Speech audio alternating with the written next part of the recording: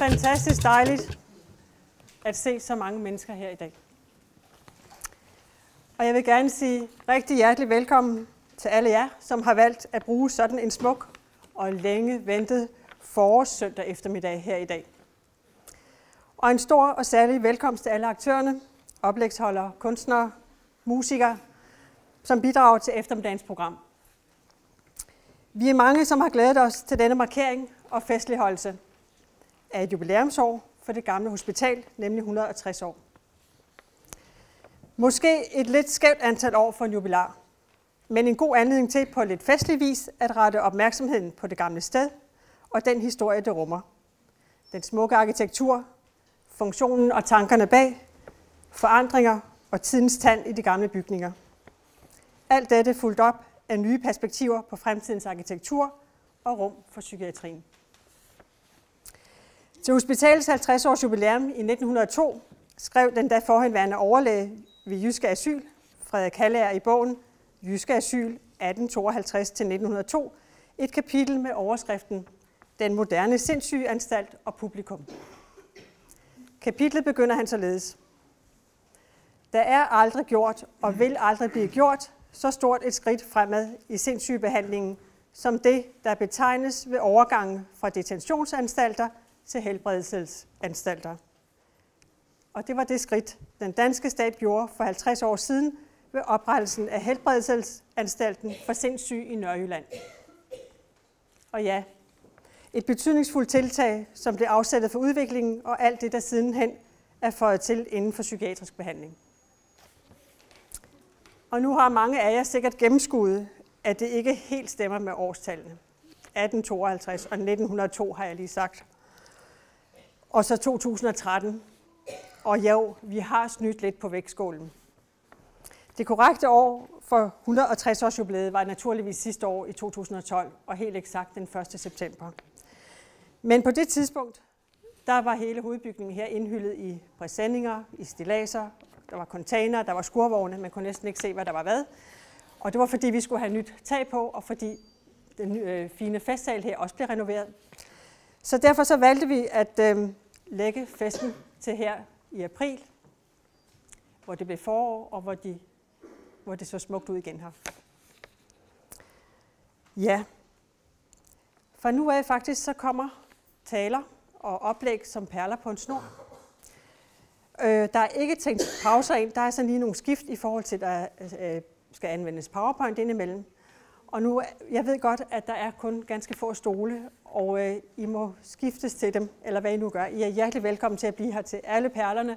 Man må også gerne øh, rykke lidt og gå ud til nogle af alle de andre aktiviteter, og så må man selvfølgelig gerne bruge bordene her. Øh, det er sådan, de gamle rammer er. Nu vil jeg straks give ordet videre til regionsrådsmedlem Flemming Knudsen, som vil holde åbningstalen. Hjertelig velkommen.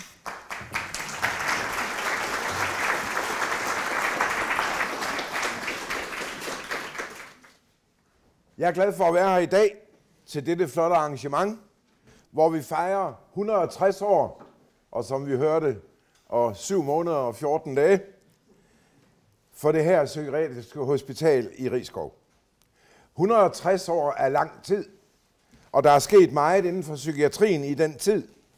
Det gælder i forhold til bygningerne, de fysiske rammer, i forhold til det behandlingsmæssige og den gensidige sammenhæng mellem behandling og fysiske rammer.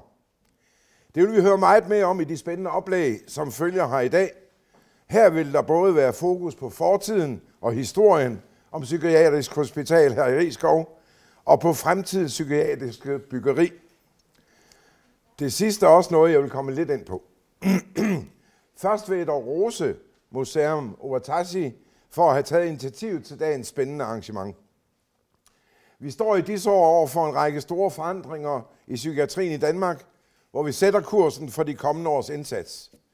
Det er efter min mening vigtigt, at vi i den forbindelse er opmærksom på, hvad vi kan lære af historien, og at vi får taget de gode erfaringer og viden med ind i udformningen af fremtidens psykiatri. Og det er dagens arrangement også et godt bidrag til.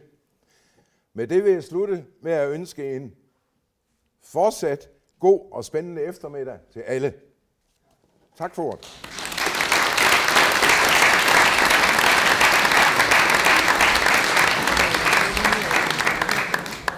Men igen, tak for invitationen. Jeg har glædet mig utrolig meget til i dag, øh, hvor vi skal tale om hospitalets bygninger. Jeg har haft 35 meget dejlige arbejdsår i, i de her bygninger og det her gode klima, som er skabt af, af bygningerne her. Og jeg har altid været stolt over at vise min arbejdsplads frem, når vi fik gæster fra ind- og udland.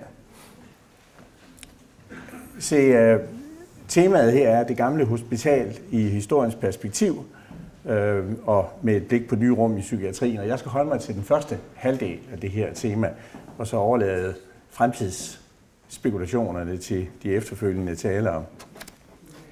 Jeg vil øh, begynde med at konstatere, at den vej, der løber herude fra runddelen og ned til vandet, den hedder Harald Selmers vej.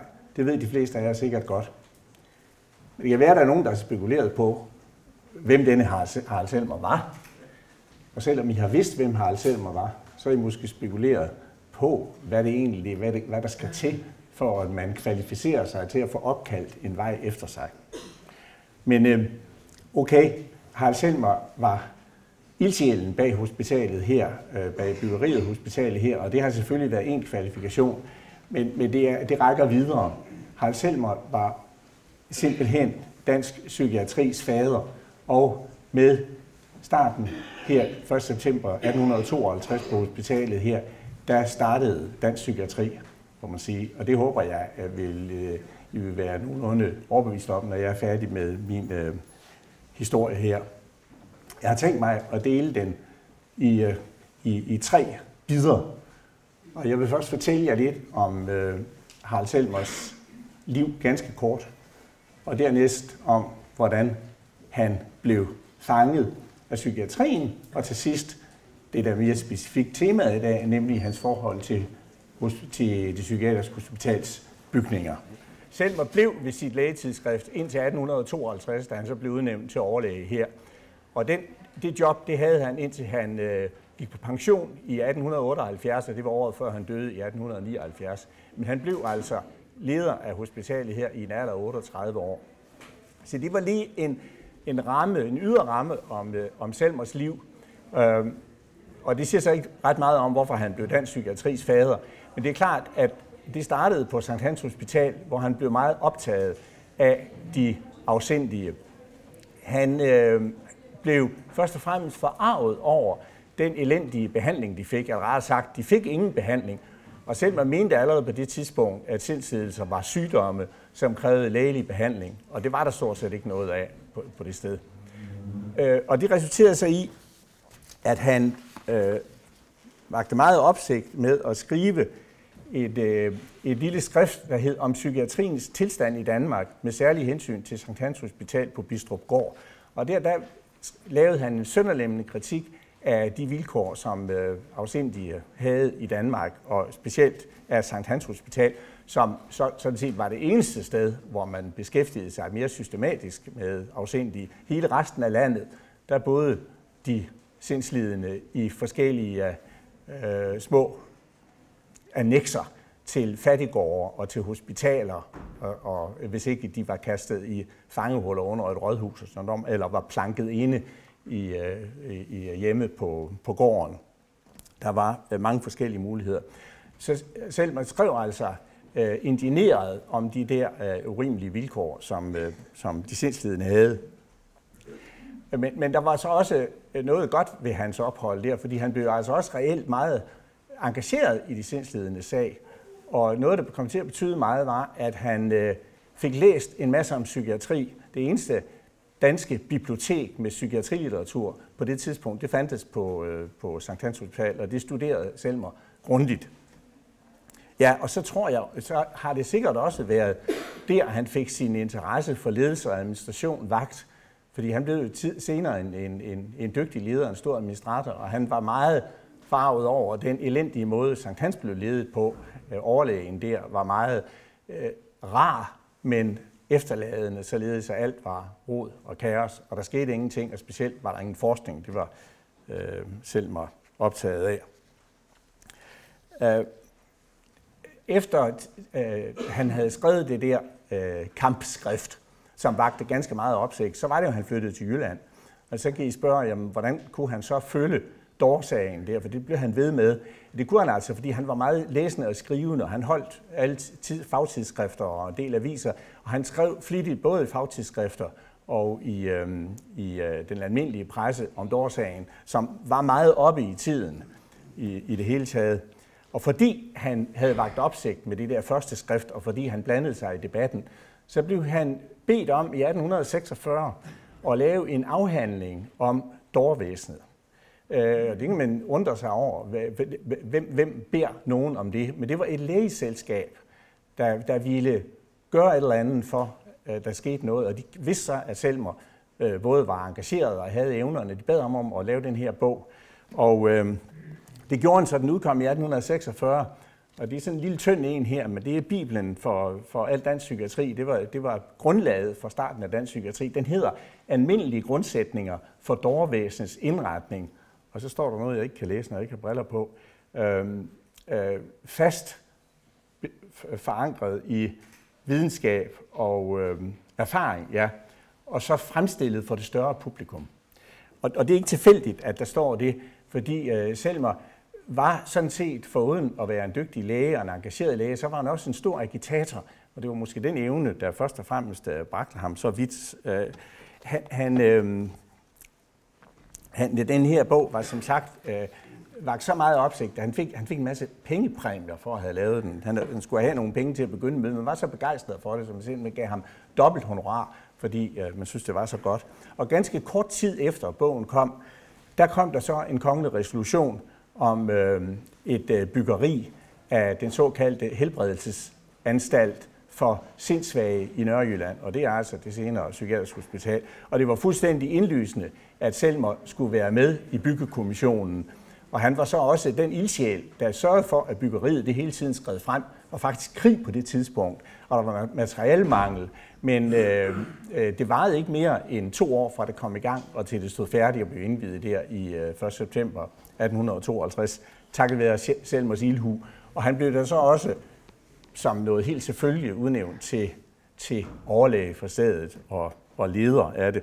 Og det vender jeg lige tilbage til lidt senere, for det var ingen lille sag at være leder af en, øhm, af en sådan institution.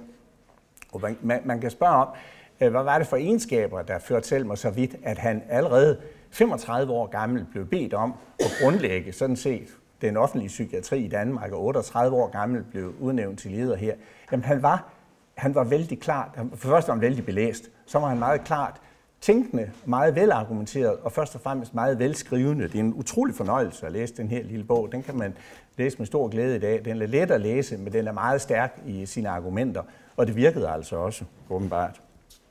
Han skrev også en lærebog i psykiatri. Den begyndte han på allerede, da han var 33 år og havde været et år på Sankt Hans.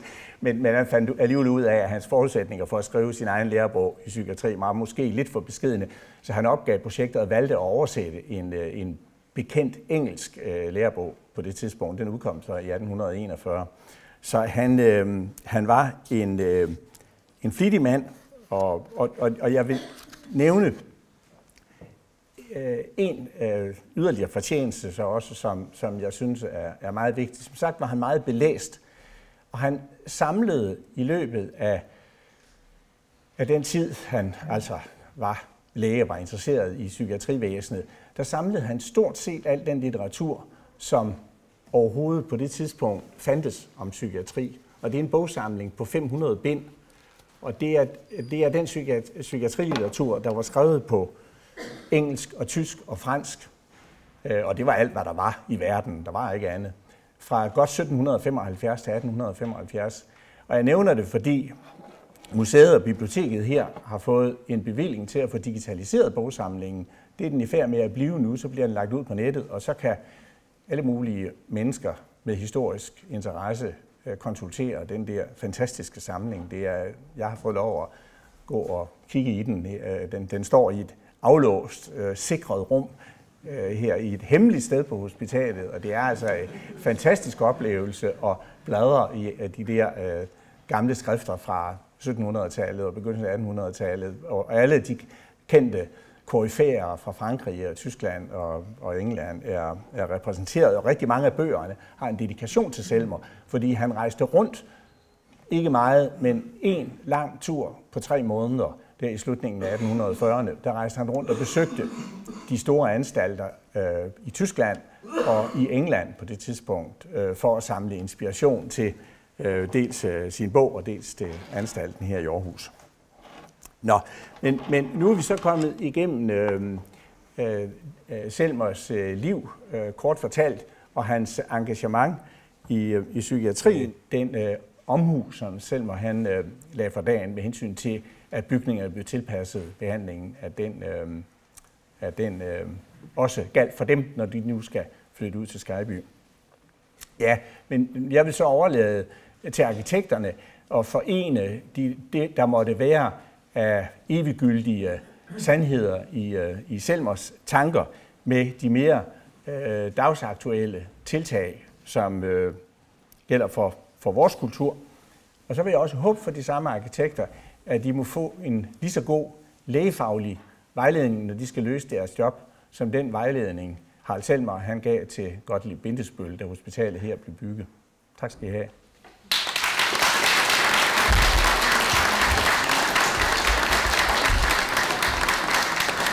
Vil sige velkommen til Peter Thule Christensen, lektor, geologi og arkitekt, som nu vil fortælle om netop om Michael Gottlieb Bindesbøl, som Peter Vestergaard rundet af med, som var arkitekten, som det arkitekten, og som havde det her flotte parløb med Harald Selmer. Nå, jeg kan fortælle, der var ligesom øh, to ting, som, øh, som fascinerede mig lidt ved, ved øh, at beskæftige mig med Bindesbøls øh, hospitaler. Det ene, det var, at, øh, at Bendesbøl ikke var sådan en fri kunstner. Man har sådan en forestilling om, at arkitekten gør, hvad der passer ham, og kun sådan øh, arbejder æstetisk, putter noget pynt på bygningerne efterfølgende. Det er egentlig ikke tilfældet. Bendesbøl forholder sig meget, meget præcist til øh, samtidens behandlingssyn og til øh, Harald Selmer, øh, som vi lige har hørt om. Det er den ene ting, der egentlig fascinerede mig. Han er, meget, han er det, man i dag vil kalde kontekstbevidst. Han er meget klar over, hvad det er for en politisk, ideologisk kontekst, han opererer i. Han læser bygherrens ønsker meget, meget præcist. Og det andet, der optog mig, det var, at, øh, at man inden for hospitalsvæsenet på det tidspunkt egentlig mente, der var en sammenhæng mellem arkitekturens organisation og patienternes indre organisation. Altså man forestillede sig, ligesom som du var inde på nu her for lidt siden, at, at en god arkitektur, en helstøbt arkitektur, også gav helstøbte patienter. Det vil sige, der var en eller anden form for organisk sammenhæng mellem patienternes ved og vel, og så den måde bygningerne var udformet på. Det er et koncept, man senere delvist har forladt, men er begyndt at genfinde i dag øh, i nutidigt hospitalsbyggeri. Man er begyndt at blive mere opmærksom igen på, at hospitalerne også har en æstetisk funktion, også taler til vores krop og til vores sanser. Der er blandt andet lige udkommet en bog, der hedder Sansernes Hospital, som handler om det fænomen. Modsat i 60'erne og 70'erne, hvor man bare byggede store hospitalsmaskiner, der lignede fabrikker, så er man faktisk i dag måske begyndt at komme lidt tilbage til, til det ideal, som Harald Selmer havde. Og det synes jeg også var, øh, var ret øh, interessant øh, at finde ud af. Så giver vi ordet videre til Mette Dan Weibel fra Aarhus Arkitekterne AS, som netop arbejder med mentale rum og også psykiatri set i fremtidens perspektiv. Mm. Tak fordi jeg måtte komme. Det er rigtig spændende. Vi står over for en kæmpe stor udfordring. Øh, Flemming Knudsen har været inde på det. Vi skal til at bygge rundt omkring i hele landet. Vi har faktisk ikke bygget nye. En enkelt eller to måske, siden Bindesbøl stod for det. Øh, så der ligger en kæmpe opgave for os, foran os nu. Øh, jeg vil i dag fortælle om tre ting. Jeg vil fortælle om vores øh, mentale rum. Det er en bog, en bogudgivelse, som ligger herover, som vi har fået støtte til af Realdania og kommunernes momsfond. Så jeg vil fortælle ganske kort om øh, fjorden, som I også har hørt om, hvor vi har lavet et nyt byggeri. Og så vil jeg fortælle om et nyt byggeri, vi lige har vundet en konkurrence om over i Helsingborg. Det, der er skægge ved børne- og ungdomspsykiatrien ved fjorden, det er, at det er et, øh, en tilbygning til Bindesbøl, eller en ny bygning i hans kontekst. Det Helsingborg, det er det, som Flemming også var inde på, at vi flytter nu ofte psykiatri ind i forbindelse med vores somatik, fordi man derved øh, afstigmatiserer og derved også får større øh, samhørighed mellem diagnostikmulighederne mellem det, somat, det somatiske og det psykiatriske sygehus. Og ikke mindst i forhold til, at vi nu har nogle forskningsmuligheder i forhold til øh, hjerneforskning. hvor scannere begynder at blive rigtig, rigtig effektive, så vi begynder at få nogle helt andre muligheder. Ganske kort øh, om mig selv. Jeg er partner i Aarhus Arkitekterne og har ansvar for vores øh, sygehuse. Øh, øh, afdeling som sådan. Og øh, jeg står her nok i dag, fordi nogle af, os, øh, nogle af jer måske har hørt om, at vi har været dygtige på det sidste til at vinde en stor udvidelse af Rigshospitalet, som ikke i sig selv er psykiatri, men det er et hovedneurocenter, som forsker meget i hjerne og hjerneaktivitet. Øh, så har vi, og den har vi vundet sammen med øh, 3XN, så er vi en stor part i det konsortium, som har vundet oppe i Aalborg. Der skal bygges et stort nyt barmarksprojekt deroppe. Den del herude er ikke somatikken, det er derimod den psykiatri, man forventer at bygge oppe i forbindelse med, med det projekt, vi har vundet her. Og det sidste her, det er så det sprit nye, vi har vundet i Helsingborg, sammen med Smidhammer og Lassen. Når man går i gang med så store projekter her, så skal man have en hel masse forskellige kompetencer med på sådan et hold. Så derfor går vi ind og laver nogle lidt større hold, end vi har gjort traditionelt til de mindre opgaver. Det er grunden til det. Ja, så tog jeg lige connexen med her. Øh, det, der er det vigtige at sige øh, i forhold til det, jeg har hørt indtil nu, det er, at det her det var et øh, asyl, det var en opbevaring, det var en dårkiste, det var mange ting. Der var en, en behandling, som var i centrum. Den behandling er stadigvæk i centrum, når vi tegner. Der er en væsentlig forskel i forhold til det her og de øvrige. Her var timandstuer, og de rigtig dårlige, dem med ringeste øh, madklasse, eller hvad, hvad du var, du kaldte dem, de boede i celler. I dag har alle, der får lov til at komme ind på de nye øh, sygehuse, de har selvfølgelig eget værelse med bad og toilet. Så det er den helt væsentlige forskel i det her. Mentale rum, øh, den er opstået på den, i den, med den tanke, at der var en forfærdelig masse forskning, når det drejede sig om somatik. Men ingen vidste egentlig, hvad forskellen var for psykiatriske patienters. Der er ikke rigtig skrevet noget siden faktisk den lille bog, som I nu har vist frem, om hvad virker egentlig, og hvad er det, der virker provokerende, hvad er det, der gør, at øh, vi skal vælge den ene løsning frem for den anden, når vi tegner og opfører.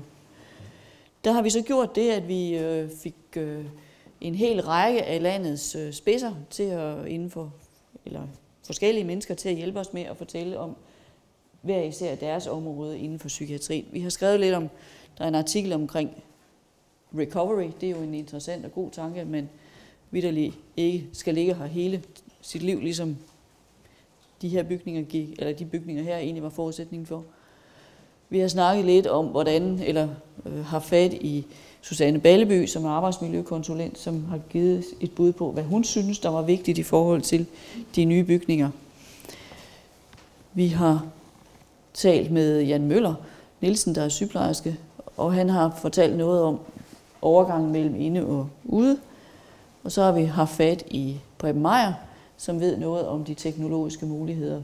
Jeg går det her ganske kort igennem, fordi det, der er det interessante i bogen, det er egentlig udmyndtet i projekterne så. Og det vil jeg hellere komme ind på. Vi har lavet et, et snuselhus nede i Sølund, hvor man har været inde og se, jamen, hvad er det egentlig, man kan lyssætte sig ud af hvad er det for nogle stemninger og miljøer, man kan lave til de her stærkt øh, øh, retarderede folk, der reelt er hernede, og se, hvordan de reagerer på forskellige øh, miljøer. Så kan man sige, at der er noget i det her område her, der hedder stedets ånd. Øh, alle selmer, eller alle bindespølsbyggerier, de ligger ude i en smuk natur. Hvis man ikke har den smukke natur, så må man selvfølgelig addere den. Fordi hvis man forestiller sig, at det her billede bliver skiftet ud med Manhattan, man har også brug for psykiatriske øh, byggerier på Manhattan, så er det jo den kontekst, man skal have fat i. En gang til. Og så er det, der er humlen i at bygge arkitektur, det er faktisk, eller ikke bygge arkitektur, men skabe arkitektur, det er gode lysindfald, og det er, det er kontrasten mellem lys og mørke. Nu har jeg taget Sarah Dits øh, smukke Order går med hvor man kan se naturen udenfor. Hun har faktisk ingen farver overhovedet i sit byggeri. Det er beton, det er sort, det er hvidt, og det spiller utrolig flot op til naturen udenfor. Og så har vi her et hammerhøjs billede, som faktisk er det samme, som Sara Hadid gør i moderne formsprog. Det er det sorte, det er det grå, det er det hvide, og det er lyset, der strømmer ind, og så kan man se ud på naturen. Og så kan man sige, jamen, hvad er det så, man skal holde rigtig meget øh, øje med, når man bygger for psykiatri? Det er, at man skal ikke overeksponere. Det er de der urolighedsklasser, som du talte om. Det nytter ikke noget, at man sørger, eller man laver noget, der er så avanceret, at det er angstfremkaldende. Man skal også passe på, at man ikke gør det så kedeligt og trist, at det går hen og bliver depressionsfremkaldende. Man skal hele tiden afveje, hvad er det for noget, man er i gang med. Stemningsmæssigt. Materialiteten er vigtig.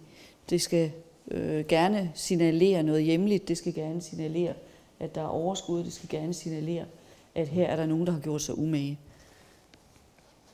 Så er det meget vigtigt, at man har styr på sin akustik, at man har styr på, at øh, skramlen af porcelæn, øh, larm og støj, at det ikke er noget, som bliver et irritationsmoment. Man kan næsten se, at den dreng, der sidder herude, han er blevet heldig, han, er, han har været heldig. Man kan næsten se, at herinde der er en ualmindelig hård, frygtelig klang, samtidig med, at lyset ind igennem vinduerne vil få luften til at stå stille og være rigtig, rigtig vemmelig. Og noget af det, vi ved allermest om, det er faktisk, hvordan dårlig ventilation betyder, at psykiatriske patienter øh, får det dårligere.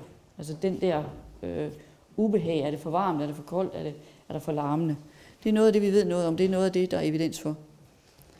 Og det er blot for at fortælle jer, hvad gør man egentlig med en form for at fremhæve en, en klang. Og det er noget, vi skal arbejde aktivt med. Og så igen, udsynet er vigtigt. Og så er det selvfølgelig et spørgsmål om, hvordan klarer man den hjemlige i forhold til en moderne øh, sengestue. Det der, det er nok ikke lige det, vi har brug for, ro og renlighed, og det her, det er måske lige over i den anden ende. Så vi skal hele tiden tænke på, hvad er det for nogle virkemidler, vi bruger. Så. Godt. Og så vil jeg sige, at jeg synes jo, øh, som jeg var inde på, jeg synes jo, det her er jo et meget flot arkitektur. Jeg synes jo egentlig også, at den stadigvæk virker i dag. Øh, og jeg synes, at hvis man laver noget nyt, øh, hvad jeg godt kan forstå, så skal man jo øh, fandens bark med tage sig sammen. Ikke? Man har noget at leve op til her. Ikke? Og der går også øh, nogle år, før man får sådan nogle øh, høje, flotte træer her. Ikke? Og, og de her rum, den omhu, der er lagt i det her, øh, det, øh, det gør, at man øh, også i vores tid øh, skal anstrenge sig, hvis vi kan nå op på det her øh, niveau. Og det er jo så oplagt at give ordet til, øh, til den næste, som skal lave det nye.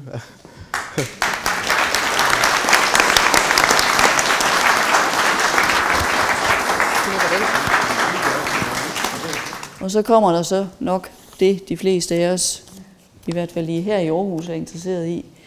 Det er den nye bygning, øh, der skal laves ude ved DNU. Her skal det store nye sygehus ligge, og derover er der sat plads af til en ny psykiatri. Der er tre øh, konsortier, som er valgt ud til at give tilbud på det her. Øh, det ene øh, er MT Højgaard. Vi kender ikke udbudsbetingelserne endnu, men det får vi at vide lige om lidt. Så jeg glæder mig rigtig meget til at komme i gang med den opgave også. Men jeg har set lidt om, hvordan vi tænker det nu, og det vil vi selvfølgelig køre videre med. Og så tror jeg, jeg holdt tiden.